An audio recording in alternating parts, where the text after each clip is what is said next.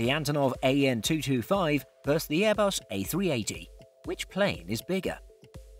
The A380 is known for its impressive size, range, and carrying capacity, but to call it the king of the skies would be a misnomer when the Antonov AN225 exists.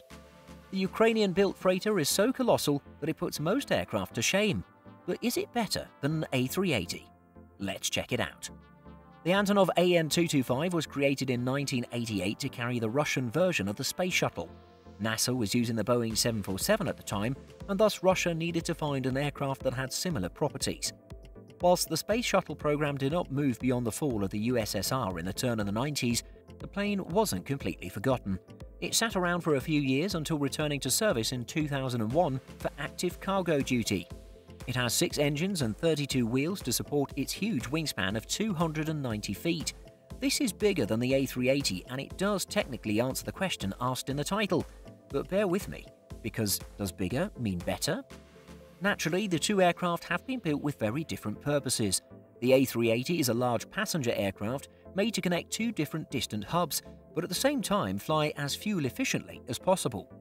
The Antonov AN225 is designed to carry the heaviest cargo possible to a massive range with no regard for fuel or costs. If you need to get something moved quickly, as Boeing did with their GE9X engines, then the AN225 is needed. Thus, with two different purposes, it might seem like we're comparing apples to oranges, but if we break down the two planes into their essential concepts, an aircraft transporting cargo, we can actually say which is better. Let's begin by looking at the range of the two aircraft. The Antonov AN225 can fly 4,500 kilometers loaded, and empty it can travel an impressive 15,400 kilometers. The Airbus A380 can fly 14,800 kilometers fully loaded with passengers. Qantas once flew an A380 almost 17,000 kilometers with no passengers on board.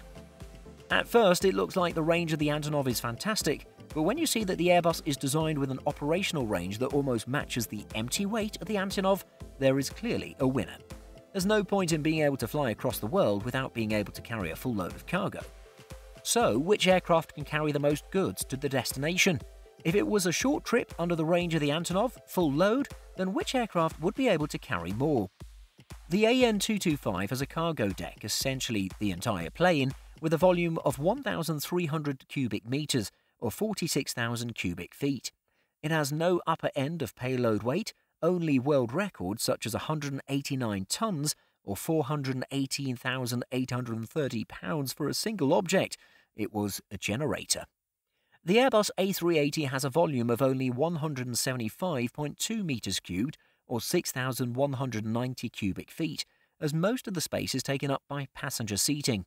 A rumoured Airbus A380 freighter that was never built would have had a payload of 150 tons, or 330,000 pounds, with a 5,600 nautical mile or 10,400 kilometre range.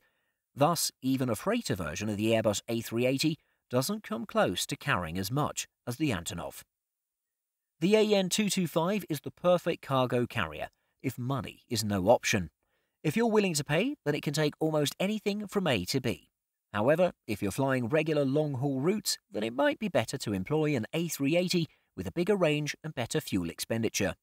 After all, the AN225 can only carry, based off of record attempts, an extra 30 tons more than the A380F. Sometimes, bigger isn't always better. If you like this video, please like and subscribe to the Simple Flying channel and be sure to click the notification bell.